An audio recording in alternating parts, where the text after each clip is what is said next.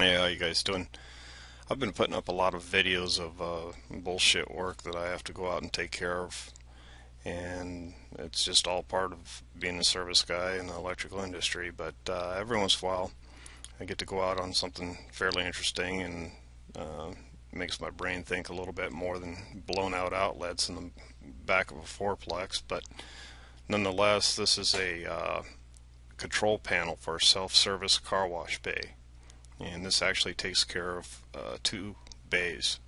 Okay so when you hit the selector dial on your car washes within all these controls here for your your rinse your wash your brush your uh, degreaser your final rinse and so on and so forth this is where all the controls come back in.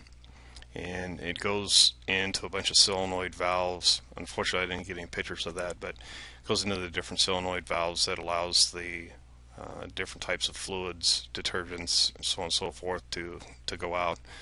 But the call that I got out was that the um, uh, pump in the whole bay itself just wasn't working. Okay, so I went in and opened up the control panel here to, to see what was going on. And um, as you can see, there's there's quite a bit of stuff in here.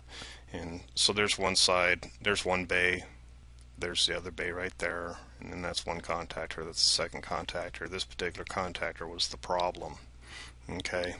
So um,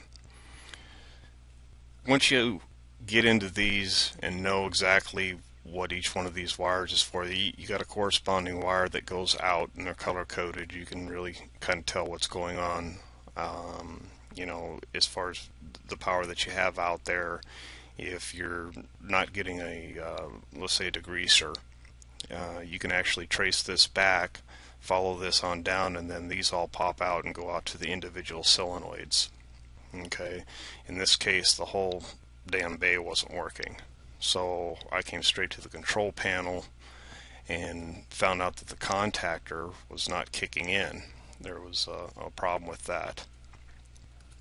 Okay, and basically all it was was the coil for some reason had melted and it wasn't allowing the contactor to pull in. So every time that the switch was pulled out at the, the bay wash it wasn't allowing that contactor to pull in and make contact. It was uh, trying to trying to suck it in but it just wouldn't do it.